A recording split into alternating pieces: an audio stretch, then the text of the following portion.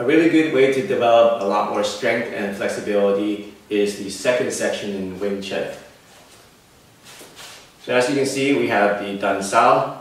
Now, what we're going to do is instead of just doing the movement, we're going to try to stretch as far as we can with the position.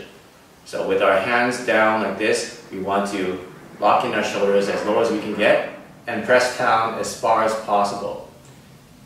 At the same time, you want to lift up your fingers and try to touch your uh, shoulders with your fingers. So your fingers are coming up, but at the same time, your palm, the bottom of your palm is coming, going this way. So you want to create this action with your palms while pressing down.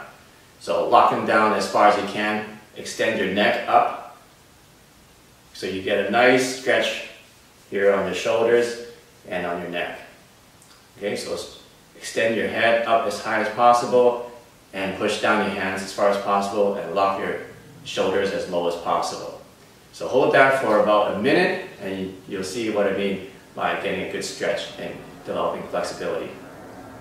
The next position is the backwards press, so bring it to the lumbar area and then press it out diagonally like this. So as you can see, my fingers are pointing downwards and a little bit towards the middle here. So you get the maximum stretch. You can do this too, but I feel that you get more stretch in your tendons if you turn in your fingers a little bit like this. So from the side, you can see you want to do this. So what you want to do is you want to push far back as possible. Try to get this as high as possible and then push back as far as you can. You want your shoulders to go backwards as far as you can. Squeeze the muscles uh, on your back, squeeze it towards your spine. So you want to get the maximum stretch and maximum, um, um, maximum movement backwards as you can do. At the same time, you're lifting your fingers the opposite direction while pressing down with the base of your palm. Okay? So, and then extend your neck up so you feel a nice stretch on your on the front and your clavicles. Hold that for a minute, and then we're going to the next position. The next position is coming back to the front and pressing down. So same thing, we're going to press down as far as we can, lift our fingers up while pressing the base of our palm down. Try to lock our shoulders as low as possible and extend our neck and pull our, uh, pull our head backwards. So it creates a nice, nice stretch. You should be feeling a lot of tension on the forearms here and even your fingers and your front, front of your forearms. You should be feeling a nice stretch of the neck So hold that for a minute, and then we'll move on to the next position. Next position, we're going to go here and then do a Sao.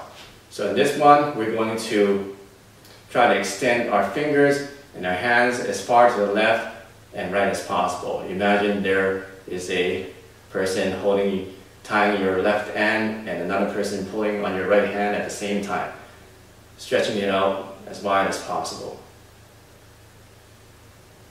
Now hold that for a minute. You should feel stretch in your pec muscles, in your shoulders.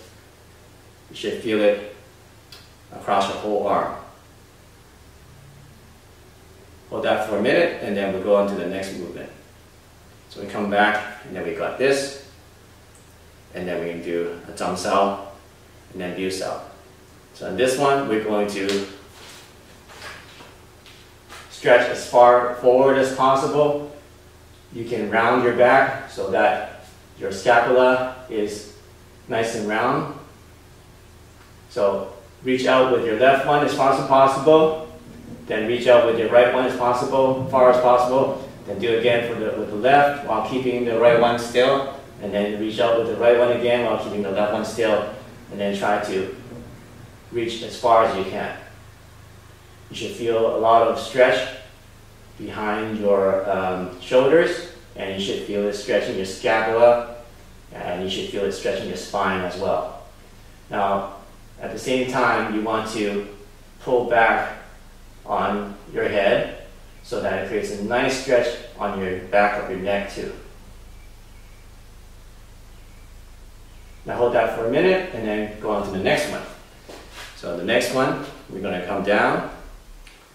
So this one, we're going to do the same thing as before, but emphasize on the bottom part of your, the underside of your arms. And the next one, we're going to uh, our hands backwards. So your hand should be like this. Your fingers should go backwards. Try to reach your fingers to touch your elbow. Okay? Your fingers are trying to reach and touch your elbows. At the same time, you want to curl it as much as possible. So curl as much as possible and lift it up like this. So you should feel a lot of pulling on the top part of your hand, of your fingers, and the top of your of your um, top of your arms. At the same time, you want to push out. So you want to push out this way and curl in with your fingers. And then pull your head back. And hold that for a minute. So there's some nice stretching and strength developing exercises you can do.